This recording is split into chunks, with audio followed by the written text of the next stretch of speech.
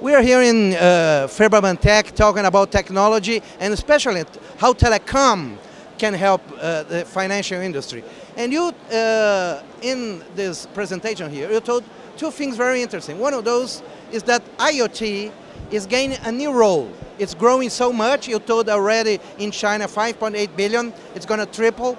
And you told something about IoT gaining a new role in the business. Why is that? What's happening with IoT? Mm. Um, yes, I, I, think the IoT right now, uh, the reason why um, getting a new role just because you know the 5G is massively, for example, increasing, right? And the connectivity become more cheaper and more quicker.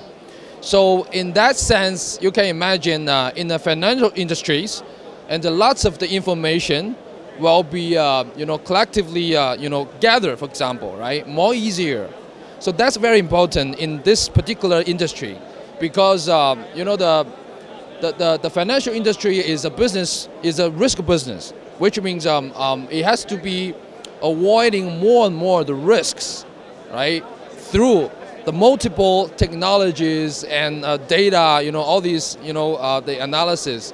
So in that sense, you can imagine if a bank, right, how they can reach out to their customers, right, automatically and real time right? Through all the technology that are available. Definitely IoT is the most important one, right? Because you cannot send the people all the time over to uh, like a uh, hundred miles away, right, to check their factories. So that's the exactly the pain points that the bank has. So in that sense, you can imagine if techno technically IoT devices with 5G connections have been proven, they can get the real situation, real the data from the remote customers and understand their customers, especially in, in terms of the risk. And they will really help the bank to have a real analysis, right, an actual analysis on their customers' risk and do their judgment, do their decision for the loan, right, for the providing the, you know, the, the services to the customers. And this is not the conceptual things. It, it, was, it was happening. Yeah, there was a real bank in China right now already deployed. This, uh, they call the IoT warehouse. IoT warehouse means that uh, they have a warehouse completely equipped with IoT with 5G connectivities, and that will connect directly to the bank internal system, and all the, you know, the stuff, the inventory stuff. I mean, the put in into the warehouse will we monitor, right? In terms of the, uh, you know, the, the, the, number of the inventories, the qualities, you know, all these informations, right, will be collected, right, through the IoT and connectivity directly to the bank.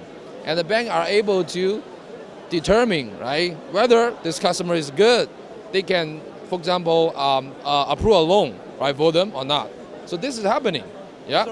Yeah. Other point you told is about the, the, uh, the new role of telco companies. They're, they are so big now and they have so many data about their customers and their customers are everybody. So they can be really helpful to other industries. You, of course, we're here at Febraban Tech, you talk about especially the financial industry, but how telco is this transversal capability. Why is that, and, and, and if you do you think that telcos are moving to, to be this new provider? Yeah, in, in fact, uh, the telco, uh, in that in that you know question, in, in fact, in my mind, that the first thing that I want to say is that telco gonna play a very critical role, very important role, and definitely uh, taking more responsibilities uh, for the customer data, because uh, um, I think the uh, globally right now. the mobile penetrations about I think around maybe 80%, maybe more than that, right? Which means everybody carry a phone right? And the phone will record whatever you have done. It can be a voice, it can be a locations, right? It can be everything. So all these informations will be transmitted, you know, through the connectivities and to the telco companies. So in that sense means that, in fact, the telco companies have all the information of us, right? So in, in that particular, you know, um, situation and, and understanding how those information can be leveraged for good stuff, good things, right? So at least in the financial sectors, we see some of the innovations is happening, right? For example, with those uh, informations, the telco company can partnership with the banks to provide financial inclusion services for unbanked people. You know, although, you know, normally those people are not able to get the bank account through the normal process because they don't have a records of the, you know, the transactions, right? They don't have a credit, you know, in their bank systems, right? So in, in the in the particular this uh, you know the customer segments, telco definitely can do a lot of good things, right? See, they can provide this uh, platform capabilities and um, uh, definitely through the data analytics, right, and give some of the good stuff, information to the bank and subsidize that, uh, uh, you know, the bank open account, for example, for those unbanked people. So in, in, in this situation, we did see the lots of, you know, good cases around the world, right?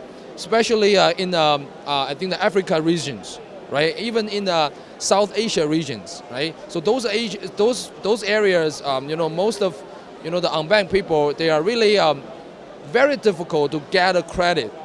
So uh, in that sense, the telco company are really can help them, right, through these uh, transformations. But definitely, they need to take more, you know, responsibilities to secure their data, right, secure the, the, the privacies. So in, in that, you know, uh, um, I, think in, in, in that areas, I, I did see that the telco company has to be uh, becoming more responsible and more transmotive, right? In um, um, in in their, uh, for example, using the data for other industries to have a win-win situations in the future. Yeah. But they already have the data, yeah. so they can do it. Yeah, definitely. Yes, exactly, exactly. Yes.